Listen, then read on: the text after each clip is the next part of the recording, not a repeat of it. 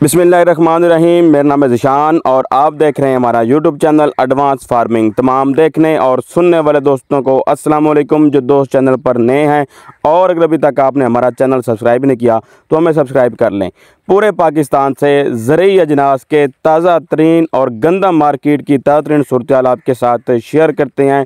इस वक्त मजमू तौर पर कल से गंदा मार्केट ने दोबारा फिर सर उठाना शुरू किया है। अल्हम्दुलिल्लाह, काफ़ी हद तक गंदा मार्केट दोबारा फिर तीन हज़ार की तरफ़ रीस्टोर होती हुई हमें नज़र आ रही है। दो तीन दिन पहले रेट इस तरह गिरे थे, जिस तरह लग रहा था कि मार्केट एक दफ़ा बाईस सौ रुपये से लेकर दो हज़ार रुपये तक आ सकती है।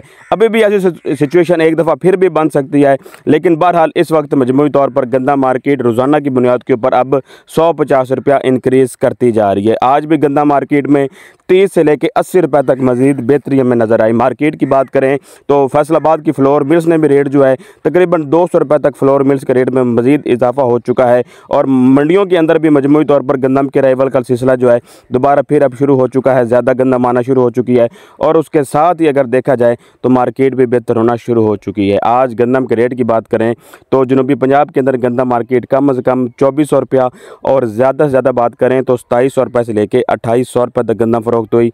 इसके साथ अगर बात करें फैसलाबाद की, मंडियों की, समुद्री उकाड़ा और फैसलाबाद की फ्लोर मिल्स की तो आज मजमू तौर पर कम अज़ कम मार्केट छब्बीस सौ रुपया और ज़्यादा से ज़्यादा रेट की बात करें तो उनतीस सौ रुपये तक फ़रोख्त हो चुकी है, जो कि बहुत ही खुश आइंदा है। इसके अलावा अगर रावलपिंडी, इस्लामाबाद की बात करें तो मार्केट आज इकतीस सौ रुपये तक दोबारा पहुँच चुकी है और गंदा मार्केट में ज़बरदस्त तेज़ी का सिलसिला जो है दोबारा फिर शुरू हो चुका है। इसके साथ अगर बात करें सरसों मार्केट में तो आज सरसों मार्केट की बात करें तो समुद्री के अंदर सरसों आज पैंठ सौ रुपये तक फ़रोख्त हो चुकी है। इसके अलावा अगर मकई की बात करें तो मकई आज कम अज़ कम पंद्रह सौ रुपया और ज़्यादा से ज़्यादा रेट की बात करें तो बाईस सौ रुपये तक फ़रोख्त हो चुकी है।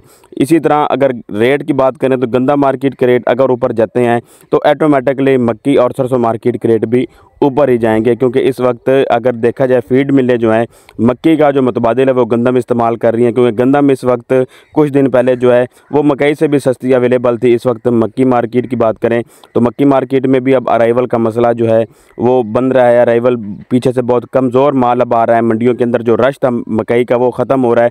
तो उम्मीद की जा सकती है, आगे नई फ़सल का जो मार्केट रेट है, वो तेईस सौ रुपये से लेकर पच्चीस सौ रुपये तक जाने के इम्कान भी मौजूद हैं। तो ये थी अब तक की ताज़ा सूरत अजनास के हवाले से इन मज़ीद नई वीडियो में मुंजी के रेट के साथ और गंदम के रेट के साथ दोबारा फिर आपकी खिदमत में हाजिर होंगे। वीडियो अच्छी लगी है तो लाइक ज़रूर किया करें, दोस्तों के साथ शेयर ज़रूर किया करें और अगर अभी तक आपने हमारा चैनल सब्सक्राइब नहीं किया तो हमें सब्सक्राइब कर लें और अपनी दुआ में याद रखें। शुक्रिया।